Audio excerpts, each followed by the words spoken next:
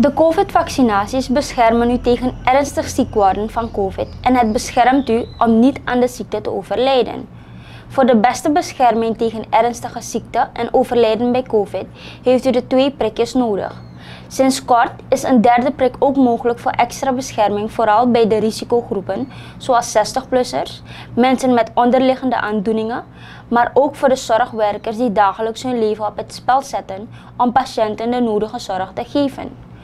Ook deze groep heeft het zwaar en die willen ook zo gauw als het kan uit deze situatie. Goeiedag en welkom bij het COVID-19 journaal van vandaag woensdag 10 november.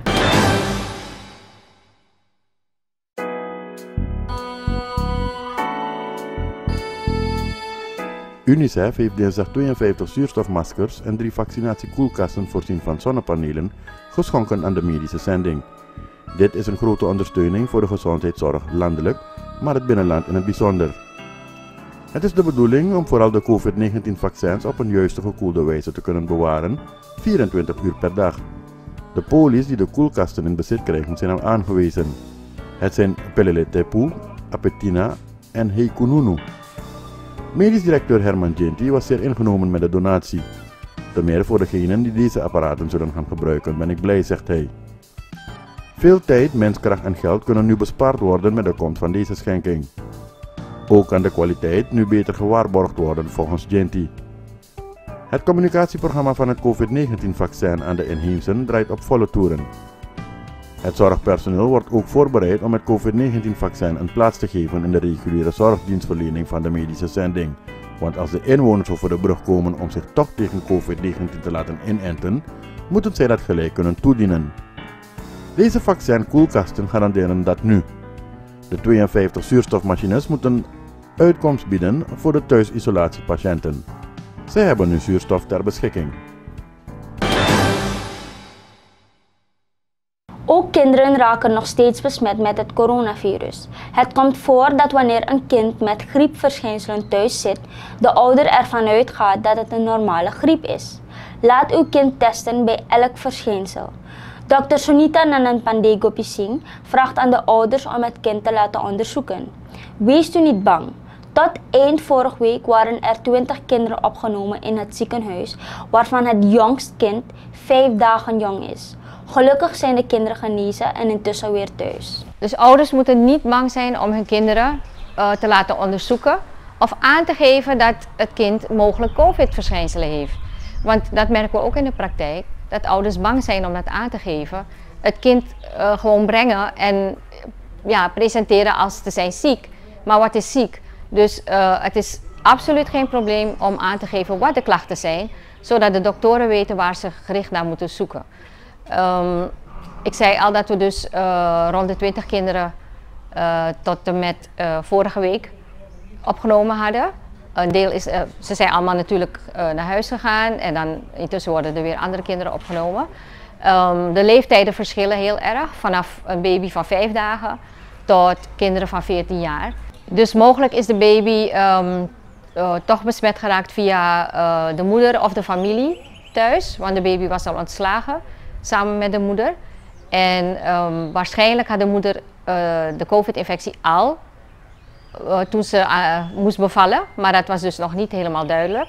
En u weet, als een baby naar huis gaat, dan zijn er familieleden die op bezoek gaan. Dus we weten niet precies hoe dat allemaal aan toe gegaan is.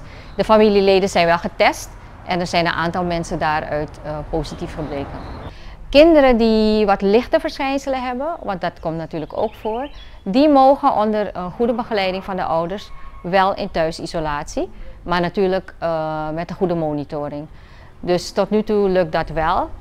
De belangrijke boodschap is, iedereen die klachten heeft, gaat u naar de dokter, bel 178 en het belangrijkste is nog steeds dat er getest moet worden. We horen ook vaker dat mensen zeggen, ja ik had even een verkoudheid of ik had een beetje keelpijn, ik heb het maar gewoon laten gaan. Belangrijk is dat we, om het percentage besmette mensen te weten in de samenleving, is het belangrijk dat men gaat testen.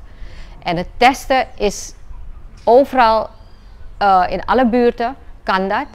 Via 178, via de swaplocaties van RGD, via het BOG. Dus zo moeilijk is dat niet. Um, Dus we roepen nog steeds de mensen op om zich uh, te laten testen. Zodat we het juiste percentage aan besmette personen in de samenleving hebben. Uh, verder loopt het vaccinatieprogramma zoals we dat elke dag updaten. En dat loopt dus ook goed. En we zijn dus nu bezig met de outreach activiteiten waarover er ook al informatie is gegeven. Bij een lage vaccinatiedekkingsgraad is de kans op besmetting erg hoog. Minister Amar Ramadin zegt dat hij blij is dat de COVID-situatie een dalende trend vertoont. Er zijn minder besmettingen en dat moeten we zo houden. En dat doen we door nog meer mensen te laten vaccineren. Om wat meer vrijheid te krijgen en om terug te kunnen gaan naar het oude leven, zullen we ons massaal moeten laten vaccineren. Ook heeft de minister het over de leerkrachten die zich moeten laten vaccineren om te voorkomen dat nog meer kinderen besmet raken. Niet voor niemendal zegt men dat de leerkracht ook een opvoedende taak richting kinderen heeft. Wij stimuleren en wij willen ook hebben dat, het, uh, dat de mensen zich uh, vrijelijk kunnen bewegen. Willen ook hebben dat mensen teruggaan naar wat we van de oude situatie kennen. Ja. Maar uiteraard moeten we rekening houden. U hebt de percentages net gehoord. Bij een lage vaccinatiedekkingsgraad, zo is het, um, is de kans op besmetting nog zeer reëel aanwezig. En uh, we zijn nu wel in de dalende uh, trend, in de dalende poot van de vierde golf. Um, we zijn blij als we de cijfers zien dalen. We zijn ook blij als we merken dat er minder uh, infecties zijn. Maar dat willen we ook zo behouden. En dat kunnen we ook zo behouden als we wat meer gaan vaccineren. Ja. En hoe sneller je vaccineert, hoe sneller je eigenlijk ook maatregelen loslaat. Ik, even terug te komen op scholen. Bij uh, scholen is het belangrijk, u vroeg als er geen uitbraken kunnen optreden op scholen. We hebben advies gevraagd bij de kinderartsen. En de kinderartsen hebben gezegd, kijk, feitelijk als kinderen COVID krijgen, uh, merken we niet echt een toename in, in, in opnames, et cetera. Ze worden wel, weliswaar, lopen ze het virus op, maar een heel klein percentage wordt ziek. Uh, daar zijn we heel blij mee om, maar dat betekent niet. En daar is het juist, de vraag van de kinderartsen is, zijn de volwassenen daarvoor ready? Ja. Zijn de volwassenen ready voor de scholen? Want dat heb ik gevraagd, ook de leerkrachten, mm. onderwijzers, zijn, uh, moeten gaan vaccineren, moeten zoveel mogelijk gevaccineerd zijn. Want als wij um, weten dat uh, ook kinderen ziek kunnen worden, dan moeten we die verantwoordelijkheid nemen als ik heb altijd geleerd dat leerkrachten en onderwijzers opvoeders zijn. Ja. Dus laten we die opvoeding uh, op de juiste wijze doen. In het Surinaam zegt de minister van Volksgezondheid op een vraag van een beller in het live opbelprogramma Niet zomaar een prikje, dat er al gekeken moet worden naar de grafieken voor de vaccinatie en na de vaccinatie. Dat zie je duidelijk dat de grafieken aan het dalen zijn, mede dankzij het vaccin.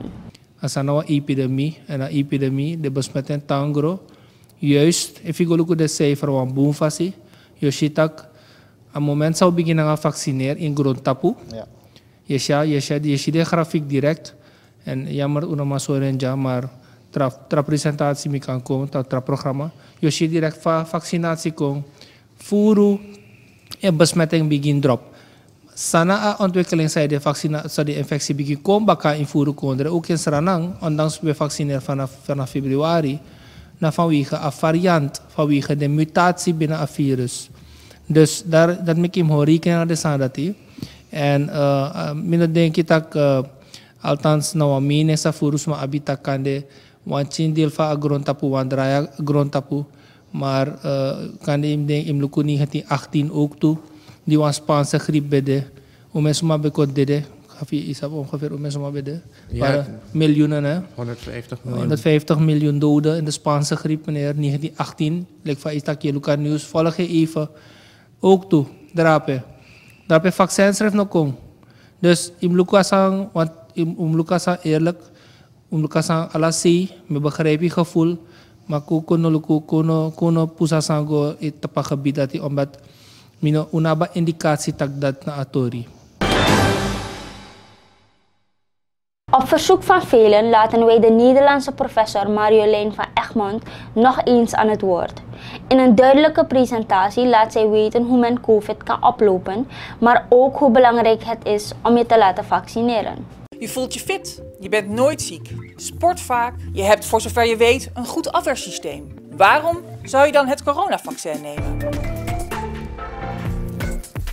Het is belangrijk om te weten dat het coronavirus ook voor een goed werkend afweersysteem een nieuw virus is. Het lichaam en de afweercellen die ziekteverwekkers bestrijden, kennen dit virus dus nog niet en zijn er daarom ook niet goed op voorbereid. Laten we nog wat meer inzoomen op dat afweersysteem. Dat bestaat uit twee onderdelen: het aangeboren en het aangeleerde afweersysteem. Als een virus voor het eerst het lichaam binnendringt, komt het aangeboren afweersysteem direct in actie. Je kunt de afweercellen van dit systeem zien als een eerste linie van soldaten. Ze vallen het virus direct aan, maar geven ook een signaal aan de tweede linie van soldaten.